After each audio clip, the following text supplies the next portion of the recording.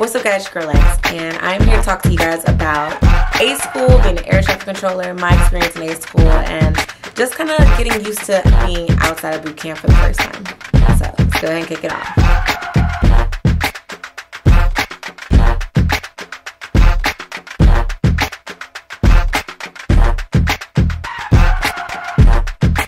So, um, many of you guys left comments on my last video about boot camp and um, some of them with the college versus military.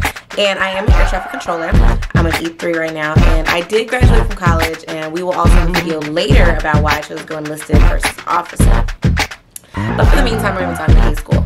So, with my rate, it's it, it's very challenging. Um, I am stationed at the Pensacola base, and I actually have one of the hardest rates on this base. Um, we have one of the longest schools, one of the most stressful schools as well. Um, we'll get into that in a minute. Um, for those who are going to be ACs and who are going to be going through that curriculum.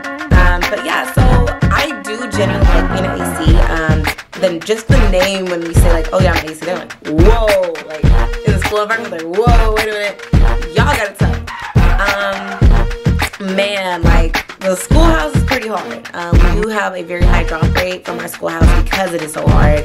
But you have to also understand that we are super hard because we're dealing with people's lives. And I know some of y'all watching like, but don't most jobs deal with people's lives? Um, and they do. But we're dealing with aircraft. So it's a little bit different because if we tell them, you know, to, for instance, if they're behind a heavy aircraft with a small aircraft that is coming in super high, you know, it's like super close. Those heavy aircraft cause turbulence. So let's say, and this is probably gibberish to some of you guys, but let's say that my small aircraft goes like turbulence. Well, now that can either A, damage the aircraft, knock it off course, or, you know, just, just really cause some big problems. So um, we have to also learn how to calculate, know how to enunciate. Um, it's a lot of things. Um, but being an AC is definitely worth it if you can make out schoolhouse.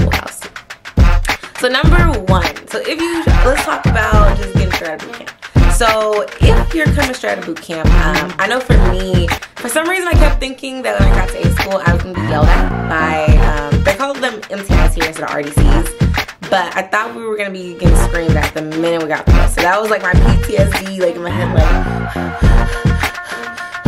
but they're not going to do that. Like it's, it's very chill once you're out of boot camp. Um, but yes, you guys do still So don't think in your head like, oh, I'm in school now. I can do what I want, party up. Because 9 out of 10, you're not.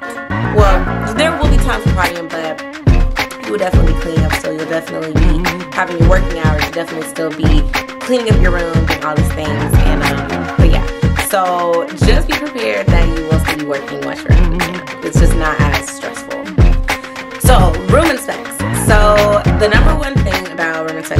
Especially on my base, it might be different for other bases, but we must have our rooms clean every morning we leave for school. So, typically for me, I leave school around 6, only because I like to go get breakfast. So, I like to go head to the galley, give me like a fresh omelet or some pancakes, some strawberries, you know what I'm saying? Give me some good food. And so I will have to wake up a little bit early, like maybe 5 a.m. type deal. Make my rack. Um, no, you don't have to do the little fold you got learned from boot camp. No, you guys don't have to do all that crazy extra mess, but you will have to make that bed. So just be prepared for that. Um, for my barracks specifically, we do have to vacuum the floor, so it's called a dirty deck. So you definitely don't want um, like debris, a lot of like, you know, like just dirt, rocks, all the extra mess on the floor. So definitely that. Also trash. So it's very big in my on my base. Um, take we have to take out the trash every morning. If not, automatic unsat. And if you don't know what unsat is, unsat means that you will be reporting on a Saturday at 6 a.m. in your dress uniform. And you'll be reporting and basically another room inspect will follow and you might get some EMI um, depending on if you this was like your fifth time getting this or you might have to answer some questions it just kind of depends so definitely clean your room. Dating. So I don't think I made a video on this and I will definitely make a video on this. Um, and I'll also be making a video about being a woman in the military and dating and all those different things. But So especially on my base, um, and you guys will see this once you guys got a boot camp or if you're preparing to leave THU or any of those different things, dating in a school is very common. It is also very common to date the same person. It is also very common to see your person walking around with somebody else. So it's, it's, it's very common here. Um, and I've seen people get into arguments and get into fights. It's just not worth it. Because once you get to your first duty station, you're gonna meet all these different people. All of them. So don't stress out about La Boo Boo over here or La Shay Shay over there who doing the nasty or doing the whatever because you will find another Boo Boo or Shay Shay at your next command. And you, hopefully you guys don't get married, but if you find that person, get married. But um, they definitely don't recommend getting married in A school because, or at least getting married to the person you meet in A school automatically because again, you will more than likely meet somebody at certain um, command. So that's just my advice. So holidays. So during the holidays, if you are still here at A school like I was, um, I chose not to leave during Christmas or during Thanksgiving because, you know, it was a plane ticket, a lot of money, and I was just kind of like, well, I just saw my mom like when I graduated in October, and I don't have to pay again, and you know, take off leave, and it was just all the stuff. You know, I was computing in my head, and plus, there was a lot of my friends who did stay, so I chose to stay.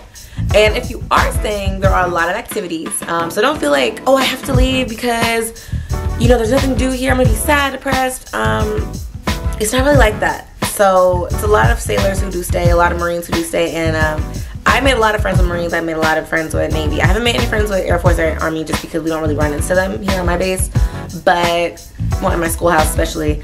But um, yeah, the holidays are not bad. There's actually a lot of good food. They give us like eggnog. It's and there's activities, pictures of Santa. Like, it's still a lot to do.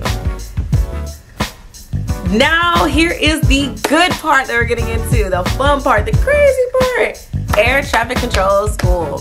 So if you are one of my fellow ACs, well, soon to be fellow ACs, um, prepare to study because our school has we test every two days, if not um, a max of five days, depending on how tough your test is. Um, I did just pass my credentials.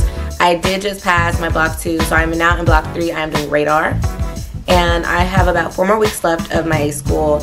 Um, and it's, I've definitely went through that depression of, do I really want to do this rate? And then you talk to the chiefs and they're like, um, I think you want to do this rate. You don't want to drop this rate. Um, after here, I will be going to a ship. I won't be saying which ship just because safety precautions, and you guys don't even know that. But um, I will be going to a ship, so they they've been preparing me about that, and um, just knowing that you know, as an air traffic controller on a ship, you just have to know that, correction. And now it is time for the best part, talking about air traffic control school. So air traffic control school, I'm actually the AROC. Um, I do sing the cadence, and if you guys don't know what AROC is, um, basically, or if you don't know what cadence is, basically when we're marching, I'm the one singing. Um, I don't really want to sing on camera just because I'm very loud and I still have roommates. Not roommates, but um, you know, the room's next to me. But yes, I'm the AROC and um, I am now my block three. There are three blocks of air traffic control and if you know or heard about block one, that is the toughest one to pass. Um, per block that you do pass, it just increases your chances of graduation, which is kind of common sense because you're moving towards graduation date. But um, block one is the hardest, I will say that. Um, I I did get my rainbow card, um, or I qualified now because I haven't graduated, so I haven't received it. But I did qualify for. It. I did pass my credentialing test. Um, it was it wasn't hard, but it was very tricky. I will say that. Um, I was making about in my schoolhouse 80s are kind of average. So I was making at first I started off with 94s, 95s, and then I gradually started declining to 80s. Um, I just made my first 79 in block three with radar but that was actually one of our second hardest tests in the schoolhouse. Um, so I'm still okay, but it was a little sad because I was like the lowest grade in my school, in my, sorry, not school, in my class. My class is very super smart, so yeah, that was definitely disheartening to get that 79, but it's all good. Um, but yeah, so block one is super hard, but it is about six weeks of being block one and testing. And you test about every two days, if not three days, or if you're on terminal about, I think it's about five days. I mean, get like a week. And the credentials is only two days. So you definitely want to study. Definitely want to study. Um, you won't be partying that much. And if you do party, just know you'll probably become an AO or a ABH or you might get lucky with an HM or a job from another base, but you don't want to lose AC. It's very good when you leave the base and when you, um, if you do get the military or if you want to just advance. We advance, our advance rate is super high. Um, and it, it's just a really good rate. I will say it's very fun, um, but you don't want to lose this rate, so definitely study. But two, we had a lot of um, simulations, so I got to finally control aircraft um, on a simulator, not real ones. And I was crashing planes on my first one. I was so like, I was so trash my first 11 runs. I was trash. And on my AC ones, on my AC twos were just like, calm down. I was one of those people that would freak out. I would just like, Maria Goodell zero check your wheels down. Like I would just freak out and I would, and I would know everything that I'm doing. I just would be like, mm, like can't do that as air traffic control. You gotta keep your cool. So um, I'm definitely a household name now in my schoolhouse for freaking out. but now I'm in radar and radar is super easy. Um, I still kind of freak out a little bit because I'm still learning my vectoring, but I will definitely have that down. So my only advice for ACs is that you definitely study.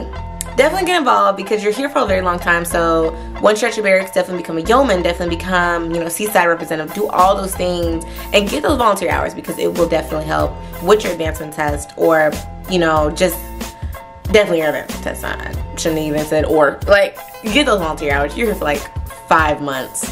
Get those volunteer hours. No option. Mm, no bueno if you don't. Um, but yeah, so just study through AC. It's very worth it. And I hope to see you guys in the fleet.